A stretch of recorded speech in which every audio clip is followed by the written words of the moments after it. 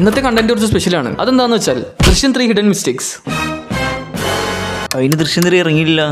ഇറങ്ങിയില്ലേ? ആ, എന്നാ ദൃശ്യം ടു ഹിഡൻ മിസ്റ്റേക്സ് അൺഫോർച്ചുനേറ്റ്ലി എനിക്കിപ്പോ ഇറങ്ങേണ്ടതായിട്ടുണ്ട്.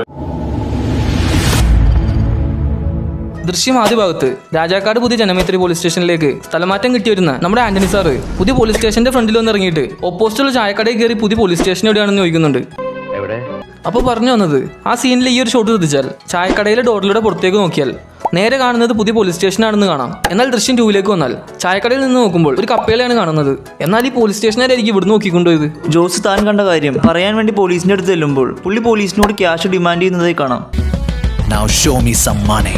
അതിനുശേഷം അഞ്ച് ലക്ഷം രൂപയുണ്ടെന്ന് പറഞ്ഞ് ഈ സി ഐ സാറ് ഒരു പെട്ടിയിൽ ജോസിന് ക്യാഷ് കൊടുക്കുന്നതായി കാണാം. പക്ഷെ ഇവിടെയുള്ള വിഷയം എന്താണെന്ന് വെച്ചാൽ മുകളിലെ ഒരു നോട്ട് മാത്രം അഞ്ഞൂറിന്റെയും ബാക്കി അടിയിലിരിക്കുന്നത് മൊത്തം നൂറിന്റെയും ആണെന്ന് കാണാം. ഇതിപ്പോ നമ്മുടെ സി ഐ സാറിന്റെ ബുദ്ധിയാണോ? അതോ മിസ്റ്റേക്ക് ആണോ എന്നാണ് ആകെയുള്ള ഒരു ഡൗട്ട് ശരി. ഒരു പതിനായിരം രൂപ എങ്ങനെ തരും. സിനിമയുടെ കഥ എടുക്കുന്ന കാലഘട്ടം രണ്ടായിരത്തി പത്തൊമ്പതിലാണെന്ന് കാണിക്കുന്നുണ്ട്. പക്ഷെ മൈജിയുടെ പ്രൊമോഷൻ കാണിക്കുന്ന സീനിൽ കുറെ പേര് മാസ്ക് വെച്ച് വണ്ടിയിൽ പോകുന്നതായി കാണാം. ഏതാണ്ട് ഒരു വർഷം മുന്നേ തന്നെ മാസ്ക് വെച്ച് നമ്മുടെ രാജ്യത്തിനെ രക്ഷിക്കുന്ന ഇവരല്ലേ ശരിക്കും യഥാർത്ഥ രാജ്യസ്നേഹികൾ. സിനിമയുടെ തുടക്കത്തിലുള്ള തിയേറ്ററിൽ വെച്ചുള്ള സീനിൽ തിയേറ്ററിന്റെ ഫ്രണ്ട് ഭാഗത്ത് കുറെ കാർ കിടക്കുന്നതായി കാണാം. പത്ത് കാറ് വരെ വേണ്ടി വന്ന ആ സീൻ വി എഫ് എക്സ് ചെയ്യാൻ വേണ്ടി ആന്റണി സാർ മാർവൽ ടീമിനെയാണ് നിയമിച്ചിരുന്നത്.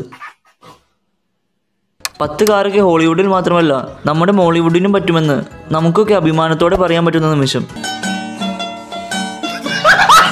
അപ്പോൾ അത് കഴിഞ്ഞുള്ള ഷോട്ടിൽ ജോർജ് കുട്ടി മൊബൈലിൽ സി സി ടി വി ക്യാമറകളിലെ വിഷ്വൽസ് കാണിക്കുന്നതായി കാണാം. ഒന്ന് ശ്രദ്ധിച്ചു നോക്കിയാൽ എല്ലാ ക്യാമറയിലും വ്യത്യസ്ത ഡേറ്റ് ആണെന്ന് കാണാം. ജോർജ് കുട്ടി കാറിൽ നിന്നിറങ്ങുന്ന ഈ ഒരു ഷോട്ട് ശ്രദ്ധിച്ചു നോക്കിയാൽ ജോർജ് കുട്ടിയുടെ കാറിന്റെ മിററിൽ ഒരു കളർഫുൾ കുടയും ഒരു ജാതക്കുള്ള ആളെയും കാണാം. അതെന്തായാലും കപ്പലണ്ടി കച്ചവടക്കാരായിരിക്കില്ലല്ലോ. സിനിമയുടെ ക്രൂ തന്നെയാണത്. ഇതിന് ജീത്തു ജോസഫിനെ ഞങ്ങൾ കുറ്റം പറയില്ല. കാരണം കാറിന്റെ വി എഫ് എക്സ് ഫ്ലെക്സ് അടിച്ച പോലെ ചെയ്തു വെച്ചിരിക്കുന്ന അവന്മാരോട് പുള്ളി എങ്ങനെ ഈ കാര്യം പറയും? ഒറിജിനല്ല ഞാൻ ചെയ്തതാ. ദൃശ്യം മോഡൽ കൊലപാതകങ്ങൾ എന്നൊക്കെ കേട്ടിട്ടില്ലേ? ഇതുപോലെയുള്ള കാര്യങ്ങളടങ്ങിയ ബുക്കാണ് കേരളത്തിനെ ഞെട്ടിച്ച കുറ്റകൃത്യങ്ങൾ എന്നുള്ളത്. കുക്കു എഫ് എം എന്ന ഓഡിയോ ബുക്ക് പ്ലാറ്റ്ഫോം ഉപയോഗിക്കുകയാണെങ്കിൽ നിങ്ങൾക്ക് ഇതുപോലെയുള്ള നാലായിരം ബുക്കുകൾ അവർ വായിച്ചിരുന്നതാണ് അപ്പൊ സമയമില്ല എന്ന് പറഞ്ഞ് വായനാശീലം നിർത്തിവെക്കുന്നവർക്ക് ഈ കുക്കു എഫ് എം എന്ന പ്ലാറ്റ്ഫോം വളരെ ഉപകാരപ്രദമാണ്. ഈ കുക്കു എഫ് എമ്മിലെ ഒരു വർഷത്തെ സബ്സ്ക്രിപ്ഷൻ പ്ലാൻ മുന്നൂറ്റി തൊണ്ണൂറ്റൊമ്പത് രൂപയാണ്. ഇപ്പോൾ നിങ്ങൾ ഞങ്ങളുടെ ഈ കൂപ്പൺ കോഡ് ഉപയോഗിച്ച് കയറുകയാണെങ്കിൽ നൂറ്റി തൊണ്ണൂറ്റൊമ്പത് രൂപയ്ക്ക് ഒരു വർഷത്തെ പ്ലാൻ ലഭിക്കും. അപ്പോൾ ഈ സബ്സ്ക്രിപ്ഷൻ എടുക്കുന്നതിലൂടെ ഒരു ബുക്ക് വാങ്ങുന്ന കാശിന് നമ്മൾ ഒരുപാട് ബുക്കുകളുടെ കളക്ഷനുള്ള ഒരു ലൈബ്രറി തന്നെയല്ലേ വാങ്ങുന്നത്. അപ്പോൾ അതല്ലേ ശരിക്കും ലാഭം? ഈ ലോകത്തെ ഏറ്റവും വലിയ മെമ്മറി പവർ ഉള്ളത് ചുറ്റി റോബോക്കാണെന്ന് പറഞ്ഞാൽ നിങ്ങൾക്ക് തെറ്റി. അത് ഇയാൾക്കാണ്. ആറു വർഷത്തിന് മുന്നേ തന്റെ വീടിന്റെ ഓപ്പോസിറ്റുള്ള വീട്ടിലേക്ക് ആ വീട്ടിൽ തന്നെ വണ്ടി കയറി പോകുന്നത് ആറു വർഷത്തിന് ശേഷവും ഓർത്തു പറയണമെങ്കിൽ ഇദ്ദേഹത്തെ ശരിക്കും ലോകം അറിയേണ്ടതായിരുന്നു. കലാകാരനല്ലാത്തവരെ സമൂഹം അംഗീകരിക്കില്ല. ആ പോട്ടെ പുല്ലി. അപ്പോൾ മമ്മൂട്ടി സിനിമയുടെ റിലീസ് ഡേറ്റ് മാറ്റിയെന്ന് സിനിമയുടെ തുടക്കം തന്നെ പറയുന്നുണ്ട്. നാളെ റിലീസ് ചെയ്യാനിരുന്ന മമ്മൂട്ടി പടത്തിന്റെ റിലീസ് മാറ്റി. അതിനുശേഷം ഓൾഡ് ഓവറായ മറ്റൊരു സിനിമയെ പറ്റിയും പറയുന്നുണ്ട്. ഹോൾഡ് ഓവറായ ഈ പടം തന്നെ ഒരാഴ്ച കൂടെ ഓടിക്കണം. നേരത്തെ പറഞ്ഞ മമ്മൂട്ടി ചിത്രം ഗാനഗന്ധർവനാണെന്നും ഓൾഡ് ഓവർ ആയ സിനിമ മനോഹരമാണെന്നും ഇതിലൂടെ വ്യക്തമാണ്. പക്ഷെ ചെറിയൊരു പ്രശ്നമുണ്ട്. എന്നാൽ യഥാർത്ഥത്തിൽ ഈ രണ്ട് സിനിമയും ഒരേ ദിവസമാണ് റിലീസായതെന്നുള്ളതാണ് മറ്റൊരു കാര്യം. ജോർജ് കുട്ടിയെ അറസ്റ്റ് ചെയ്ത ശേഷം കോടതിയുടെ ഹിയറിംഗ് ടൈം ഒരു മണിക്കാണെന്ന് നമ്മുടെ ഐ ജി സാർ പറയുന്നുണ്ട്. ഇന്ന് ഉച്ചയ്ക്ക് ഒരു മണിക്കാണ് ഹിയറിംഗ് എന്നാൽ ഹിയറിംഗ് നടക്കുന്ന ഏതോ ഒരു സമയത്താണ്? ശരിക്കും പറഞ്ഞാൽ നല്ല ഉത്തരവാദിത്തമുള്ള കോടതിയാണെന്ന് ഈ ഒരു ക്ലോക്ക് കൊണ്ട് തന്നെ ഡീറ്റെയിൽ ചെയ്യുന്നുണ്ട്. ശരിക്കും ആ ക്ലോക്ക് ഓടുന്നില്ല കേട്ടോ. എസ് ഐ ആന്റണി സാറ് കാണാം. ഈ സീനിൽ കാണാമെന്ന് പറഞ്ഞു പോയിട്ട് പിന്നെ പുള്ളീനെ ഒരു സീനിലും കണ്ടിട്ടില്ല. It was at this moment that he knew. He fucked up. Main incidents ഉണ്ടാവുമ്പോൾ പോലും എസ് ഐ ആയ പുള്ളിയെ വേറെ എവിടെയും തന്നെ കാണുന്നില്ല. ഇനി ഇതാണാവോ പ്രൊഡ്യൂസർ ബ്രില്യൻസ് ഇനി കുറച്ച് ഡീറ്റെയിൽസ് പറയാം.